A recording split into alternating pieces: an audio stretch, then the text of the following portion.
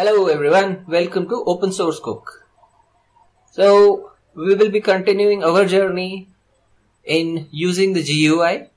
In this video we are going to see how you can create archives or the so-called zip files. So let's get started. So first of all we need to find out which utility is there with which we can create the archive. So we will follow our standard rule and we will look for the term archive. So if you remember, we'll go to start and we'll directly search from the search bar and we'll search for ARC. So as soon as I type archive, the archive manager shows up over here. So Still, if you want to know where it is located, it is located in the accessories section and this is your archive manager. So the archive manager will allow you to create archives and compressed archives. So we'll not go into the details of archives and compressed archives. We'll just limit ourselves to creating a zip file for the time being. So let us see how we can create an archive or let us say we want to create a zip file, how we can do it simply through this archive manager interface. So first of all, we go here and we simply say a new archive. So it's going to ask me the name of the archive which I want to create. So let us say we'll call it my my backup and then from here you can select the extension or not the extension rather the type of compression or archiving you want to use. So here it is showing you a lot of different type of archives or compressions that you can get. Zip is what you might be used to so you can create a zip. If you're going to share your file with other linux users and uh, Linux or Unix type of users, they would always prefer to get a tar or a compressed tar with gzip compression or bzip compression. So you should either use this or you should use the tar.gzip. For the timing, we'll stick to zip and I say create.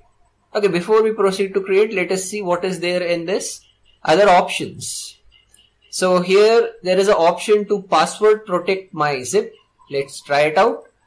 I'll just give it a password 12345 and uh, let's say create. So it has created the zip but there are no files into this. So nothing is zipped till now. Interesting. So how do we add files to this zip?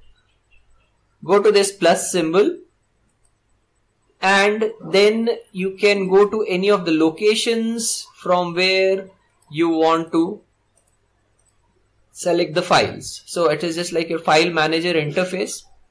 So I will just go to let's say documents, office work and then I'm just going to select certain files from here. I'm just going to select them randomly and that's it. If you are interested you can move around and select more files. You can select a complete directory or folder so to say. The whole thing can be archived. And we will say add. So that's it. Your archive is ready. Fine you just say quit. And your archive is ready so where did it get created? Check it out. It got created over here. My backup dot zip. So it contains all the files. Let us recheck. We'll just double click on it. Again, it opens with the archiver and you can see your files over here.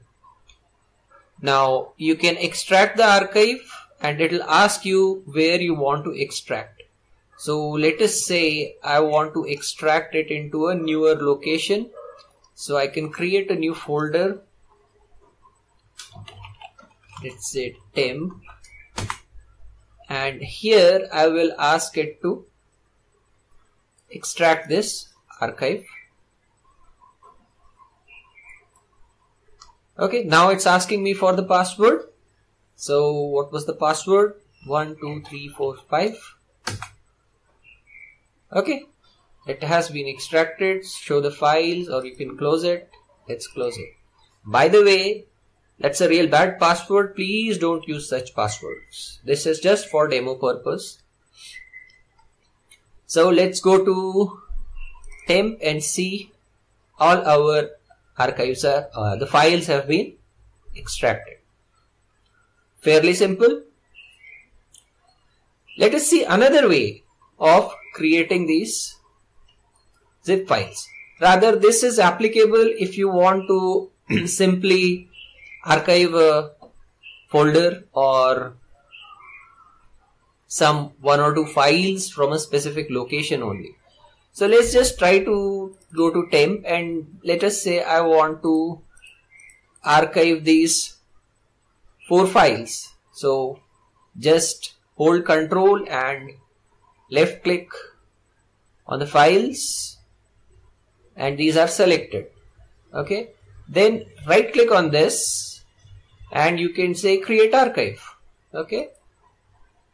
It will ask you for the name so temp, zip and other options. So in fact this is actually the direct part of the archive uh, archiving tool which we had seen and this is a faster way to create the archive. So I'll just say create and you can see the temp.zip is created. So if you want to create your archive real fast then you can use this simple mechanism and if you want to extract your archive real fast, copy it to the location where you want it, right click on it and simply say extract here, extract to. Extract here extracts the contents in the same location, extract to will ask you where you want to extract it. Fine. So again, we get the same uh, location and uh, let's just say I'll extract it to this templates for the time being and I'll say extract. So it is extracted and sudo templates. So my files are extracted. Simple. Okay. So that is how you can create your archives. You can manage the zip files and others. So it is fairly simple. No need of command line. Nothing. Who says Linux is difficult? So go ahead, try it out and enjoy Linux. We'll meet in the next video.